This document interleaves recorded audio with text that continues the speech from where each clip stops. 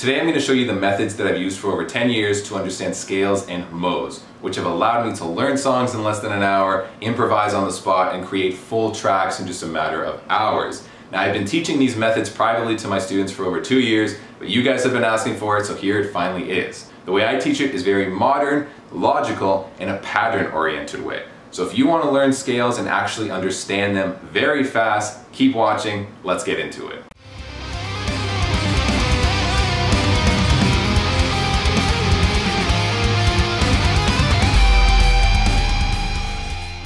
Now before we get started, I'm going to be doing a lot of these videos on my YouTube channel, but I'm also going to be doing helpful tips on my Instagram. So if you have Instagram and you have a second, follow me at nik.nocturnal on there. All right, let's get into it. So to start up, I am specifically in drop D. That does not mean you have to be in drop D. You can be in E standard, drop D, drop C, drop whatever you like. If you want to follow along exactly, I recommend tuning to drop D. It's very simple. If you're an E standard, then just take that low E bring it down to a D. That is it. But I'll show you right at the end how to translate anything from a drop tuning to a standard tuning and from a drop tuning to a different drop tuning. It's very, very simple, okay? So a scale is essentially a set of, on average, around seven different notes, sometimes less than seven, sometimes more than seven, that you have to play within in order to be considered in a specific key. They're essentially your boundaries within that key. If you play outside of that set of notes, outside of your boundaries, you're then considered out of key. Things will sound wrong, they will sound odd a lot of the time. But if you play within those boundaries, within that key, you can technically play any of those seven notes, and it doesn't really matter necessarily which order, you'll be in key and they'll always sound at least decent. Now, modes is a really fancy word for just being able to play that set of notes, those seven notes, everywhere on your fretboard, but it's the exact same notes, just being able to play them everywhere. Now the first scale you're going to learn is called the minor scale. It's extremely important and it's what I base literally all of my music theory knowledge off of, okay? Now we're going to be learning the minor scale pattern, however, we're specifically going to be playing it in D minor because we are in drop D, okay? But focus more on the pattern of the minor scale than really caring exactly which key it is, okay? To start off, we're actually going to be ignoring the low string, the low sixth string. We're going to be bringing that in later. We're going to be first going to the D on our second string. That's on the fifth fret, okay? That's where our pattern is going to start. The pattern looks like this, five, seven, eight, next string, five, seven, eight, next string, five, it has seven notes, those are the seven notes. Five, seven, eight.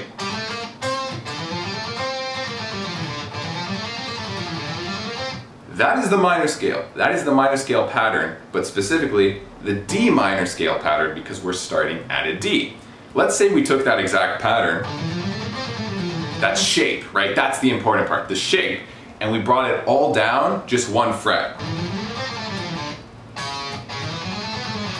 We're still playing the minor scale, but this is a C sharp, not a D. So now we're playing C sharp minor. So our key is instead C sharp minor.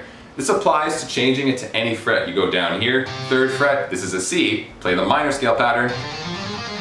There, you're playing C minor, B, B minor, etc., etc. So that's the important thing we're trying to learn is just the pattern of the minor scale.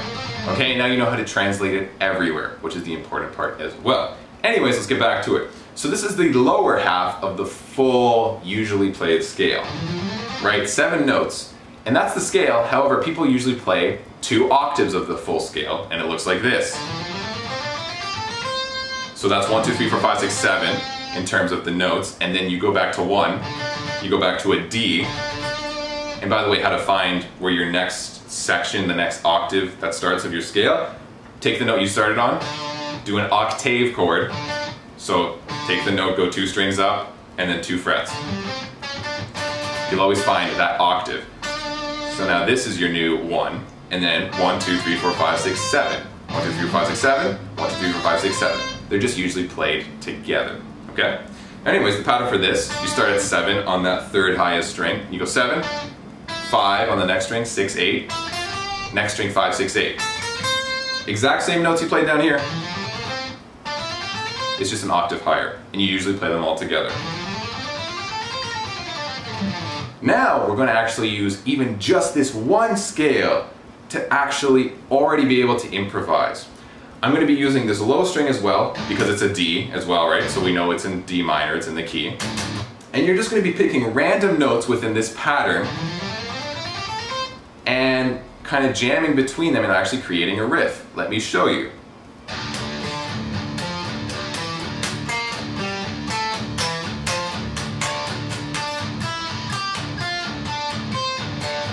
I'm picking random notes within my scale, but because they're within my scale, they're within my key, meaning that anything you play technically can't sound wrong as long as you stay within those boundaries. They might not always sound incredible, some note combinations might sound better than others, but it'll never sound wrong. That's really the key to understanding scales, that's why we have to understand them, okay?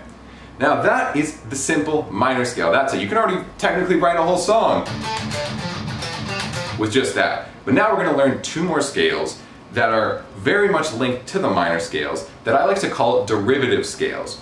That's because you use the base of the minor scale that we already learned, that pattern, but you just make a couple adjustments. So we have the minor scale, and then we have two derivative scales. One is harmonic minor, one is blues. Harmonic minor sounds very dark.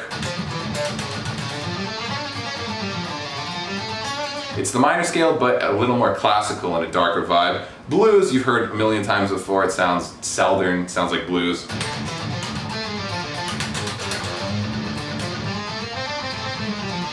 Right? So that's it. Now, let's start with harmonic minor. Harmonic minor is literally the exact same as minor. All you're doing is sharpening, and by sharpening, I mean you're taking a note and moving it instead one fret higher. You're gonna be sharpening the seventh note that you'd usually play right? So our pattern is 578, 575.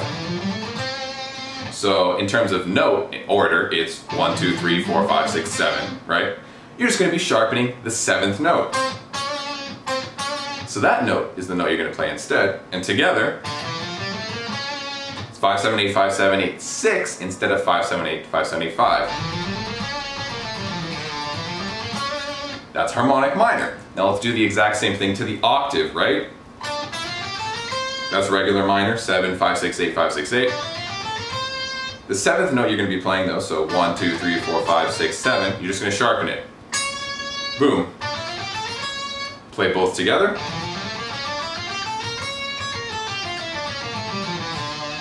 That's harmonic minor. Really simple, just sharpen the seventh note. Blues now is a little different because technically you're not taking away a seventh note or you're not taking away a note and then sharpening it you're actually going to be adding on completely an additional note. So harmonic minor, you replace a note, sharpen it, specifically the seventh note. Blues, you just straight up add on a note, which makes it in total have eight notes in the scale. What you're adding on for blues is a sharpened four, okay? So, in terms of order, you're going one, two, three, four, five, six, seven. So one, two, three, four, and then add on a sharp four, meaning one fret above four and not the fourth fret in terms of the fourth note in your series of one, two, three, four. Then that's going to be the blues note. One, two, three, four, sharp, four, five, six, seven. Right? So that's that blues note. Now, same thing, do with, with the octave, right? One, two, three, four, add on a sharp four, it's just one fret above the four. Six, seven. Right, there you go. That's the blues scale and the harmonic minor scale easily linked just from the minor scale. So now what I recommend is just keep going over your scales, start with the minor scale. Focus on that one first because once you get that one down, it's very easy to translate to the harmonic minor, blues, or absolutely any other scale you will learn in the future okay? Now, you are probably like, Nik, what about that low sixth string? We're gonna learn that right now, but we're gonna learn this just on the sixth string, and we're gonna learn it horizontally. You know, so our scale, we from now, we learned it vertically, you know, going down, going up. Now, the sixth string, we're only gonna learn the scale going horizontally, okay? Now this again is a D, just like this is a D, okay? And the pattern on the low string goes like this. Zero, two, three, 5, 7, 8, then 10. Same thing when it comes to harmonic minor and blues now. Well, this is a D, so this is the first note. And in order to find harmonic minor, we got to sharpen the seventh. So in terms of, you know, the note value, this is the first note, second note, third note, fourth note, fifth note, sixth note, and then this is the seventh note we usually hit, but instead replace it and sharpen it. Same thing we play up here. It's just an octave lower, okay? Um, now same thing with blues, add on a sharp four, so one, two, three, four, add on a sharp four, five, six, seven. So now this is the part that if you're in a standard tuning, it's the only thing that you slightly have to watch out for. Everything else is the exact same. But if you're in a standard tuning, instead of the pattern being 0, 2, 3, 5, 7, 8, 10, everything is minus two frets. Everything is two frets lower than it normally would be. So for you, instead it would be 0, 1, 3, 5, 6, 8, and then 10. And because you're in a standard tuning and everything's two frets lower, you wouldn't be in drop D, you'd be probably in E standard, meaning you're starting on an E and not a D. So you're not starting at the first note of the series anymore. The E is actually the second note of the series. You'd actually be going two, three, four, five, six, seven, and then one. This would then be where your D is. That's the only difference. Everything else is the exact same. That's how you deal with the low string, and I seriously recommend just learn the low string, learn it horizontally, because it'll help you much more later when it comes to modes, when it comes to chords, chord progressions, all of that stuff, okay? So when you're practicing your scales, top five strings only, do them vertically, then just get to the low string and get used to it horizontally on its own. So that's the scales portion of this video. If you like that portion, hit that subscribe button down below and share the video because honestly I think even just that in itself will help so many people understand scales. So now we're going to move on to modes. Now again, if you remember what I said at the beginning, modes is just a fancy word for saying playing the exact same notes, it's just we're being able to play them everywhere on our fretboard instead of just this one area, but it's still the exact same notes. Now a really good way to kind of think of modes is think of like a circular clock shape of something, right? And our scale, right, the minor scale, goes first note, second note, three, four, five, six, seven, and then it repeats, right? When you hit one again, it's just the octave of one, the exact same note, an octave higher. Now modes makes it so first position, we're gonna go one, two, three, four, five, six, seven, but the second mode, we're instead just gonna start at two and then go three, two, three, four, five, six, seven, and then because we're starting one note later, we're gonna end one note later, so we're gonna end at one. However, you're still going over the exact same series of notes as your scale. The same series of notes, you're just starting at a different point within the series. Just like the third mode, you're gonna start at three, you're gonna go three, four, five, six, seven, then one, two. Okay? Same notes, you're just starting at a different point within the series of notes. That's all modes are, okay? So, based on that knowledge, of course, there are probably seven modes. Just like there's seven notes in our scale, there's gonna be a mode per note to start on within the scale, if that makes sense. So our first mode, and so our second mode is gonna start on the second note of our scale, right? And just be consistent, right? Make sure all your modes start on the second string, just so it's easier to understand, easier to make everything kind of align with each other, okay? So, first mode, second mode, it's gonna start on that second note, and it's gonna start at the seventh fret. Pattern goes like this, 7, 8, 10, 7, 8, 10 again, and then 7. Right, going over the same series of notes of 1, 2, 3, 4, 5, 6, 7, you're just starting at 2, and you're going 2, 3, 4, 5, 6, 7, 1. So playing this is the same as going back to your first position and instead starting at the second note.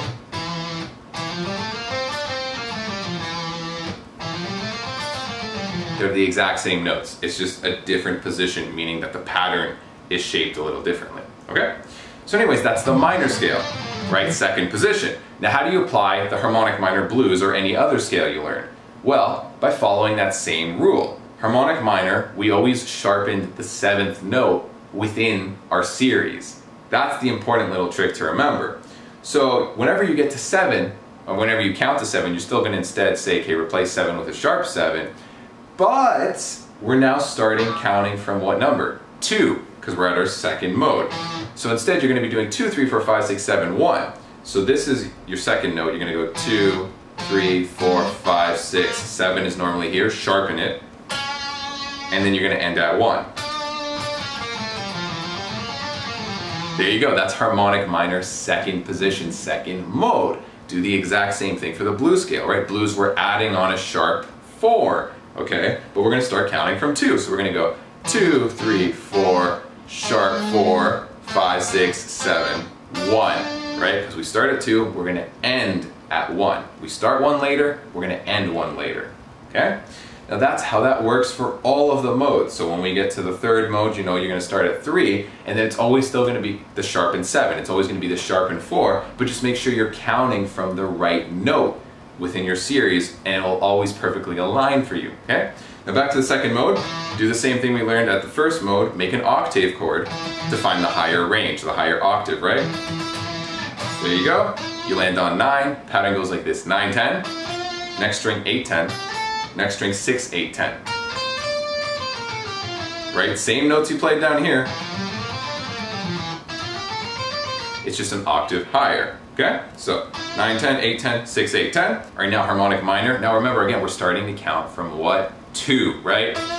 Okay, so 2 and harmonic minor is replace the 7 with a sharp 7. So 2, 3, 4, 5, 6, 7 is normally here. Sharpen it, sharp 7, and then 1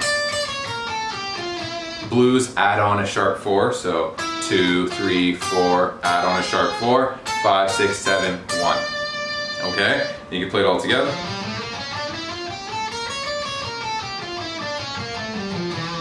Right, so now let's do one more mode and let's do the third mode. I'm not going to go over all of the modes because honestly it would make this lesson an hour long. If you want me to make a video like that, feel free to tell me down below. But all the core concepts of modes is really just in the first couple modes and then the rest is just kind of rinse and repeat a lot of memory work okay so third position on the 8th fret makes sense right?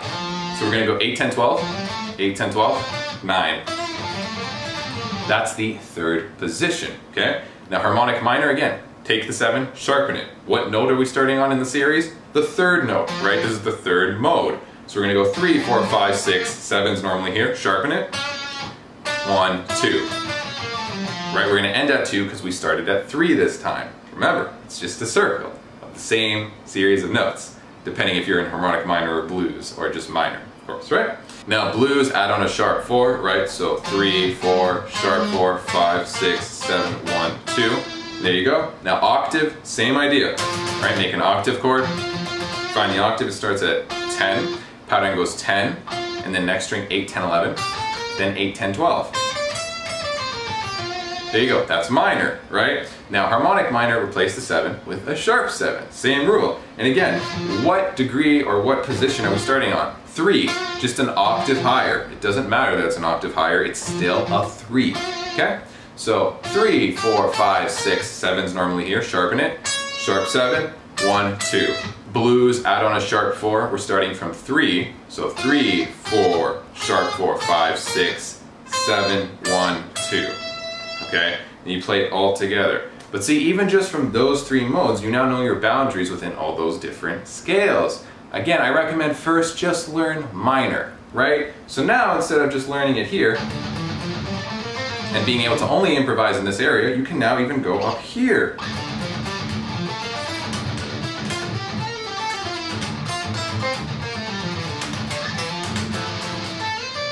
right? And the more modes you learn, the more you get used to, the more free you'll be in terms of being able to play within your boundaries everywhere, okay? Now I'm gonna give you a chart, I'm gonna leave it for you so you can actually understand this stuff because if I, again, if I go over all of these modes, it's gonna be an over hour lesson and there's no, no point because all the concepts you already understand, okay?